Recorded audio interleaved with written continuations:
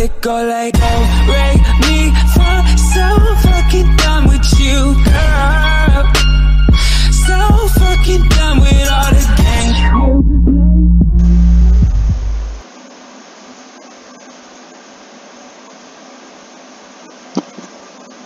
Hey everybody, this is Apex, back in another video. And today I'm going to be showing you a mats farming spot in uh, Stros M'Kai. Uh, we're going to open the map and go ahead and start off and show you guys where you need to go.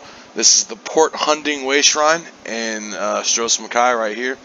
Uh, and starting off, we're going to keep it nice and simple. Uh, we're going to be aiming north and just follow the path. I'm not going to speed through anything. I'm not going to skip through anything. I'm going to show you guys the whole route in its entirety. Uh, this is good a lot for uh, enchantment nodes, metal and jewelry crafting nodes. Right here you got an enchantment node near the tree. Um, you can skip up there and there's some ancestor silk spawns sometimes, but I usually don't go up there unless I'm going back on my way back through. Over near this wolf we have a rubedite spawn right here. Come down the way, wood spawn, rubedite spawn, jump across, ancestor silk, another rubedite. I'm not going to list each one off every time. I'm just showing you guys where they are and giving you an idea at first. You just got to jump back across the water here and then follow the cliff wall.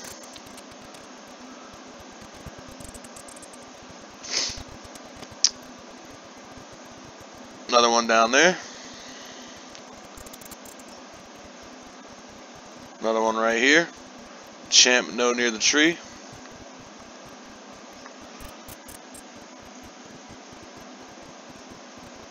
There can be a chest against this wall here sometimes. Another one right here. Cut through.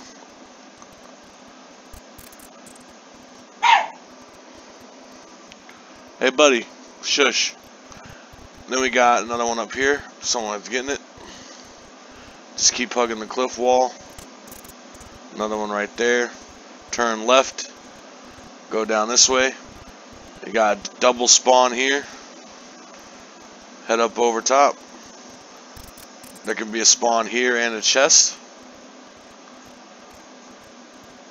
Then you just hop down. There can be a rubedite spawn here. Ancestor Silk double spawn. There can be some right there, but it's not there right now. Same over here in this corner. Be one against that wall. Can be one right here. then you're going for a swim. Got one right there.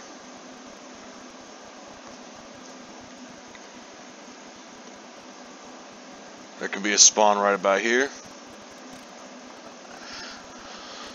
I will say this is a pretty big route, but that's why it's so good, because by the time you've gone through it, everything comes back. There's usually a rubedite spawn here, an enchantment node there. Can be another enchantment node up here. It's not up here right now, though. And then you can come across. Spawn right here. And then follow the water and the cliff wall again. And be double spawn right here and right here. You hop across. Fishing spots here too, so you can fish while you're here if you really wanted to. I don't, but you can if you want to. Enchantment node, rubedite, can be a double spawn. Enchantment node, spawn here, spawn here. Look, it just spawned. I will say that this place is kind of heavily saturated sometimes with people. Like, it is a very popular spot.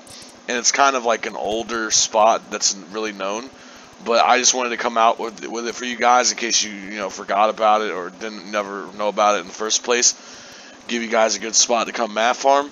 Uh, if you can get here in a dead time, like when it's dead and nobody else is here, you will get rubedite or quick as crap. I mean, like, there's at least 30 nodes in this rotation, I'd say. Not Well, not 30, but like a lot. Like 20 at least. And if, even if you only get three per each one, which is unlikely, you're still going to come out of it with like 60 rubedite ore every time you go around in a circle. I mean, that's pretty damn good. Up here on the hill, you can get some ancestor silk right here. This isn't really good for ancestor silk, but I will show you guys in another video where I go to farm ancestor silk. And then the path starts over again, where you come down and hop across from the way shrine. I'm going to show you another alternative little spot you can go. Instead of going straight through like that, you can come down here. Don't accidentally hit A on that guy's body like I did. Uh, there's, you know, some, some alchemy stuff here too. Rubedite.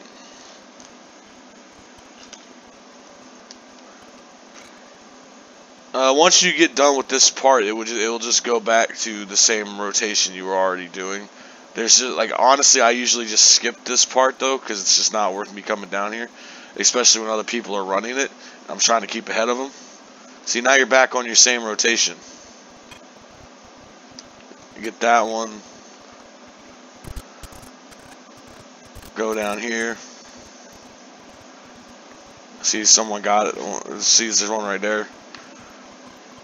And you just hug the cliff wall. See, chest.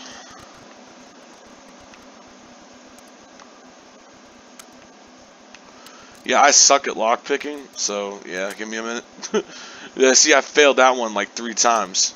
Oh my god, make that four. Oh my god, I'm screwing it up, fellas. Oh my god, that's terrible. That's terrible, guys. apparently I suck really bad at lockpicking. That's why I need to go put some points into my force lock thing. There we go. yeah, I can't even pick it up because I got a full inventory of crap right now.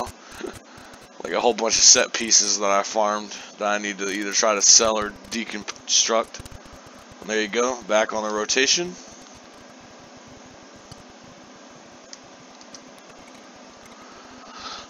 I can't stress this enough though, wherever you farm, it doesn't matter if you learned it from this video or not, take everything out of the node. It doesn't matter if you have Elder Scrolls Plus or not, take all of it, okay? So thanks for watching the video guys, I hope it helped and I hope you get some good mats out of it. I'll see you guys in the next video.